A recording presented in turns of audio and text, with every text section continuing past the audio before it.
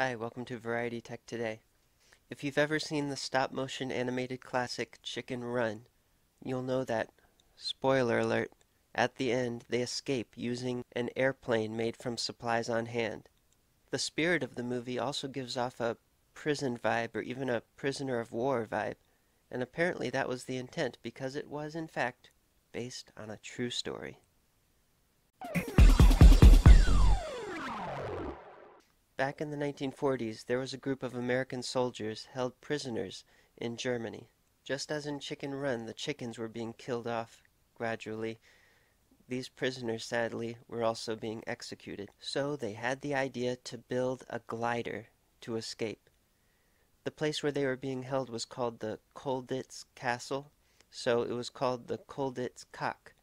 And there's the other chicken comparison, naming the glider after a rooster although ironically, roosters don't fly, and that was a major part of the plot of Chicken Run. They had a secret space in an attic where they slowly built the glider from stolen pieces of wood, from bed slats, from floorboards, and they even had control wires for the glider that were taken from electric wiring that was in unused portions of the castle. It was just under 10 feet wide and just under 20 feet long and the glider was skinned with fabric from sleeping bags. However, they ended up being rescued, and the glider never ended up having to be used. In Chicken Run, however, they did end up using their glider, and there was a series of toys at Burger King that you could actually put together to make your own glider similar to the one seen in the film. Here's Ginger.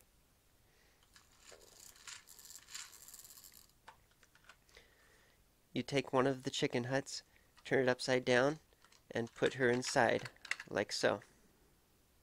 This would be the cockpit. There's another chicken pun. you take Rocky's cannon, take off the wheels, and that goes on the bottom for the wheels of the plane. You take the windmill from Mac's escape wire set, that goes on the front for a propeller. And by the way, these are the other figures from the toys. There's Rocky, and there's uh, two of the chickens there, um, Bunty and Mac, and uh, these aren't needed for the plane. You take the two halves of the windmill and snap them together from Mac's uh, high wire. Take another chicken hut, and they go on the back of it. You can see that's the back end of the plane there. And then the ramp that was for Bunty to jump over the fence, that actually, folded out flat, is the airplane's wings and you can see they're made with the fabric stretched across there. And those wings go in the second chicken hut. And then you connect those two together. And there you've got it. The complete Chicken Run Escape Glider.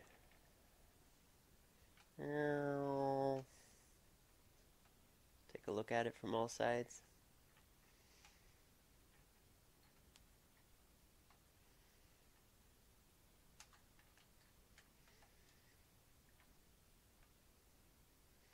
And by the way, if you're interested in owning this, check out the link below. While I'm at it, I might as well show you Rocky being launched out of this cannon, which is kind of perfect for 3D.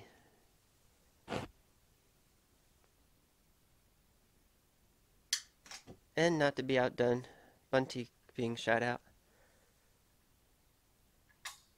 I'll see you next time. We either die free chickens or die trying. Oh.